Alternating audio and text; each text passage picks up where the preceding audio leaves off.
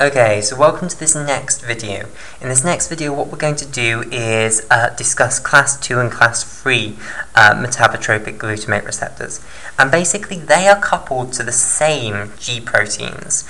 Um, all of these are coupled to the same thing as all of these, which is that they're coupled to either the GI G protein, in which the alpha subunit is now this alpha I subunit, or they are coupled to Go where the alpha subunit is this alpha o subunit. So that's why people will often write alpha i slash o to denote that this alpha subunit can either be i or it can be o. And again, just like q and 11 I'll have pretty much the same function, i and o have pretty much the same function as well. Okay, so let's get another piece of paper and discuss what alpha i and alpha o are going to do. Okay, so uh, let's say what we have here is, in fact, should I draw the whole thing? Yes. This is the glutamate binding domain. Here is the cysteine-rich domain. Here is the transmembrane domain with seven membrane-spanning alpha helices, like so. And then this is coupled with a heterotrimeric G protein, which has as its alpha subunit either I or it has O. Okay, and then uh, we don't care what the beta and the gamma subunit are. Okay, so initially this G protein is bound, uh, this alpha subunit of this heterotrimeric G protein is bound to GDP. But when glutamate binds to the glutamate binding domain, that causes a conformational change in the glutamate binding domain, which is transmitted to the um, catalytic portion of this enzyme by, enzyme by the um, cysteine-rich domain uh, which is very rigid. And basically this becomes catalytically active and cleaves off this GDP molecule and instead binds to that alpha subunit uh, a GTP molecule. So you get GTP here bound to this alpha I slash O subunit. So this is either alpha I or it's O. And basically, once you've bound GTP to the alpha subunit, it no longer wants to associate with the beta and the gamma subunit, so they go off together. Okay, so now what is the function of the alpha I slash O subunit? And I should have labelled this. This is either an M-GLU-R uh, class 2 or class 3. So class 2 or 3. So it's one of those two. Okay, right, so it's not class 1. So uh, as long as you don't put M-GLU-R1 or M-GLU-R5, you'll be fine. Right, so what does this subunit do? Well, basically, most people's answer to what does it do is that it inhibits adenylyl cyclases. And that is not actually true. What it does is it inhibits calcium activation of adenylyl cyclases, specifically adenylyl cyclases 1 and 8. Okay, so let's have a look at this in a bit more detail. Right, so let's have a look at the adenylyl cyclase 8 enzyme first. So adenylyl cyclase 8. Cyclase 8. Right, so um, basically adenylyl cyclase 8 has a structure that resembles this. It sits in the cell membrane, so here it is, sitting in the cell membrane, and it has an N-terminus here, then it has its first transmembrane domain, which has six membrane-spanning alpha helices. So this is TM1. And then it has a linker between uh, TM1 and its second transmembrane domain, which is called TM2. So that's its second transmembrane domain. And then it has another great big terminal here. Right, so this linker between transmembrane domain 1 and transmembrane domain 2 is called C1. And you can divide it up into two pieces you can divide it up into C1a and C1b. So C1a is this portion and C1b is this portion. This portion here is known as C2, and again that can be divided into two portions, like so. This is C2b, and this is C2a. And this over here is the uh, N-terminus, the amino terminus. Right, okay, so adenylyl cyclase 8 is activated by uh, calcium binding to it. Uh, but calcium doesn't bind directly to it. Instead, it binds to calmodulin, uh, which is bound to adenylyl cyclase 8. So basically, one of the important domains that you have within adenylyl cyclase 8 is a domain on this amino terminus over here. Uh, so the amino group is over here somewhere at the start of the polypeptide. Okay, and this important domain is called the calmodulin recruitment domain.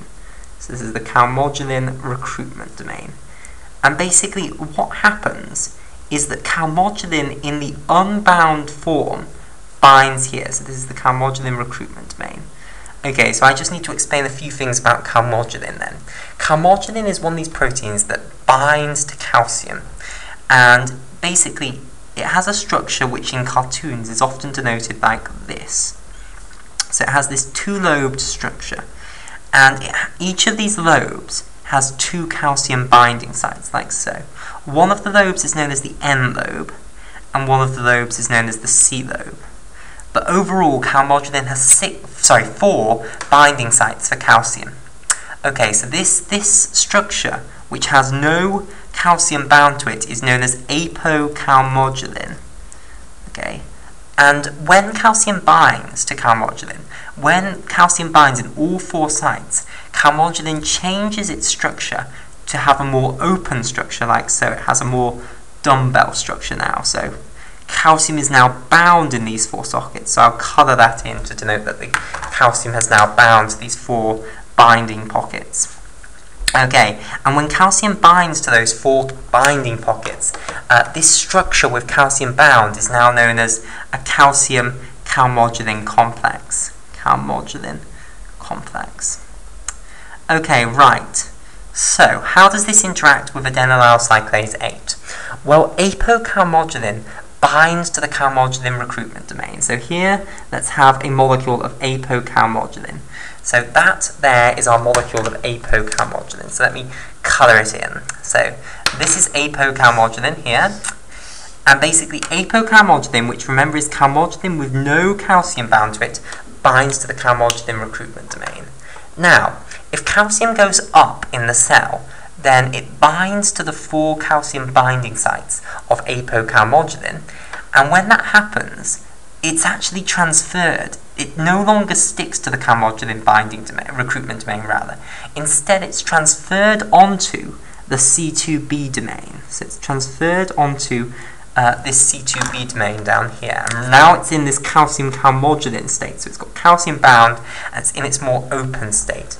And basically, what the binding of this calcium calmodulin complex to C2b causes is it causes the association of two portions of the enzyme, namely C1a with C2a here. And those two bits that I have highlighted in orange, C1a and C2a, those are the two halves of the enzyme.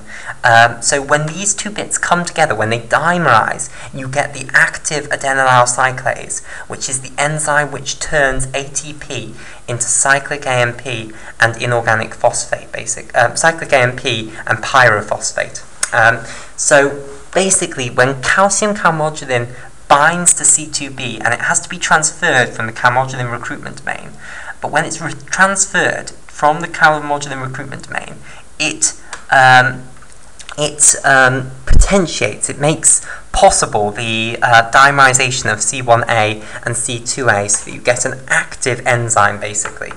Okay, uh, right, so now let's look at adenylyl cyclase 8, uh, sorry, adenylyl cyclase 1. So I won't write the full name out, and this time I'll just put AC1.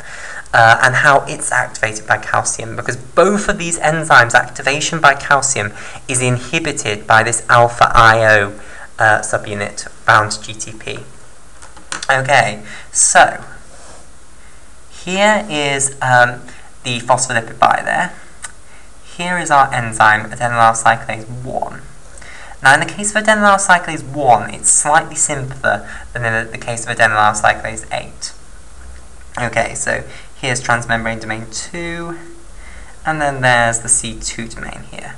Basically, in, um, in adenylyl cyclase 1, you have the same portions as you have in adenylyl cyclase 8, but this time apocalmodulin binds instead to this C1b domain. So here is our apocalmodulin bound here. So there's our apocalmodulin bound to C1b. Now, when calcium goes up, what happens is that that apocalmodulin uh, becomes a calcium calmodulin complex. So if I draw the conversion, let's show it here. So here is transmembrane domain 1, and now uh, here what we're going to have is a calcium calmodulin complex. But this time it doesn't move, it remains bound to C1b. But when it remains bound to C1b, now that it's a calcium calmodulin complex, it makes possible the, um, the dimerization of the C1a with the C2a uh, portion. So let's denote this as our C2a. So basically you dimerize the C2a with the C1a, which remember are these two por portions that make up the active adenylyl cyclase enzyme. So let me just draw in the membrane. So here's the phospholipid bilayer. Right, so here what we are getting is an active enzyme, the active adenylyl cyclase enzyme. Okay, so basically when uh, calcium binds adenyl, adenylyl cyclase, when calcium binds to that apocalmodulin on the C1b domain, it doesn't move anymore, it remains bound to the C1b domain here. It remains there, uh, but it causes some sort of change which allows uh, the C1a domain to associate with the C2a domain and form the active adenylyl cyclase enzyme. So this is the C2a associating with the C1a. Okay, right, and that allows you to form the active enzyme. So, how do these alpha IO, uh, so, so the alpha I or the alpha O subunit bound to GTP, how do they stop this? Well, basically, what they do is they bind to the C1 region and the C2 region, and they hold them apart, basically. So this is going to come in here. So how I show this? I'll show it on this picture. So basically, what's going to happen is that this alpha, uh, alpha I or slash O, so it's either an alpha I or it's an alpha O subunit, comes in here with its GTP, and basically it holds apart this C1 loop here away from this C2 portion here. So basically it keeps um, these sub-portions of C1 and C2, namely C1a and C2a, firmly apart and stops them dimerizing. And that way it inhibits uh, the calcium activation of the adenylyl cyclase 1 and the adenylyl cyclase 8. So it doesn't it doesn't actually inhibit the enzyme. Instead, it blocks activation of the enzyme. Okay, so that's, maybe you might think that's a trivial difference, but it is a difference. Okay, so that's what alpha IO and GTP do. do. So either alpha I or alpha O with GTP bonded to them stop the calcium uh, activation of adenylyl cyclase 1 and adenylyl cyclase 8 and uh, that leads basically to the uh, stopping of the formation of these active adenylyl cyclase enzymes. And remember what adenylyl cyclase does, it takes in ATP and it converts it to cyclic AMP and pyrophosphate, often denoted PPI, pyrophosphate. Uh, so uh, if you block the formation of the active enzyme, you block the formation of cyclic AMP, so cyclic AMP goes down. If cyclic AMP goes down, then that means the activation of the enzyme protein kinase A goes down, and that is then uh, the uh, second messenger structure uh, for these class 2, class 3 uh, metabotropic glutamate receptors.